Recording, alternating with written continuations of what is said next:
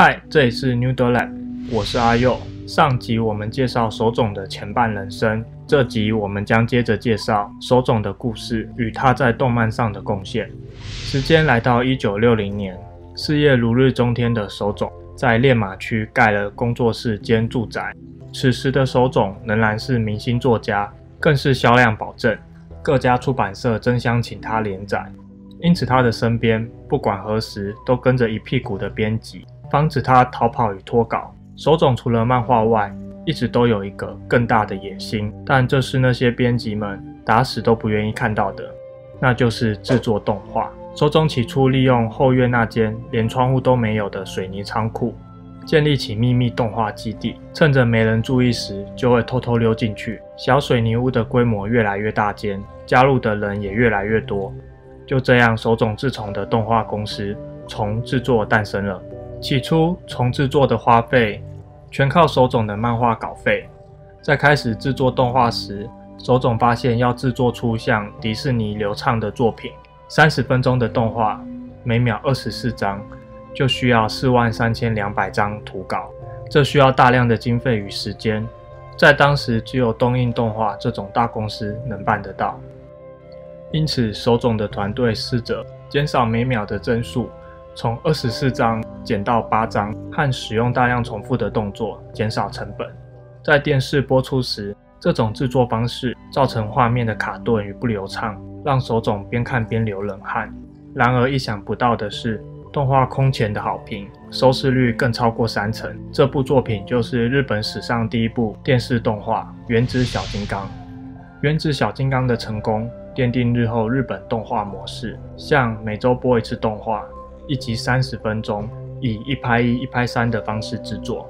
这种生产快、成本低，与美国大制作、高经费相比，日本动画终于走出一条自己的路。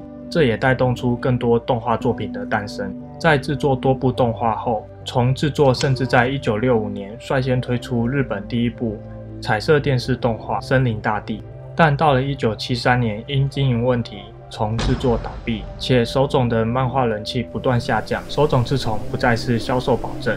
随着一部部作品完结，手冢来到了事业的最低潮。这与看他漫画的孩子已经长大成人，与当时的剧画风格成熟，和市场上的题材越来越多元都有关系。剧画是指作画风格如电影般写实的漫画流派，他们刻意与当时以搞笑为主的漫画区分开来。内容更复杂写实，适合年纪较大的族群。低潮时创作的几部作品，阴暗而且负面，人气依旧低迷。编辑部打算再给他一次机会，送他职业生涯最后一程。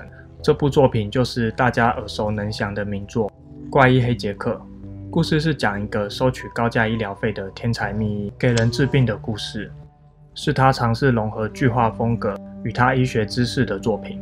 原本预计五回的短片，因评价极佳，转成长期连载。手冢终于找回人气，生涯的后期也诞生了一系列名作，像《火之鸟》《佛陀》《三眼神童》等。在他不断燃烧生命的创作下，一九八九年病逝在东京的医院，享年六十岁。手冢的一年堪比别人的十年，最高纪录同时连载十部作品。在熬过一个又一个的夜晚后，他的作品量高达惊人的四百五十部，堪称漫画之神。其实除了数量外，他在漫画技巧上贡献极大，是首位在漫画中使用像广角、特写等电影镜头，让画面更有张力，且打破传统漫画的风格，重新去分割构图，来产生时间的错觉与张力。到了剧情高潮处，更用多格甚至好几页的方式去加深情绪与强调动作。加上拟声词、速度线，让原本静态的图面如看电影般活了过来。这种手法奠定了日本现代漫画的雏形。漫画曾经被认为是有毒刊物，被集中烧毁。这场猎物中，手冢治虫首当其冲，受到严厉的批评。他依然努力地捍卫漫画。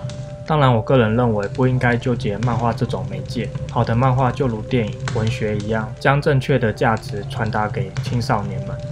在故事上，他的漫画不只带给孩子欢乐，更传达反战、反歧视、亲情、勇气等人生哲理的讯息。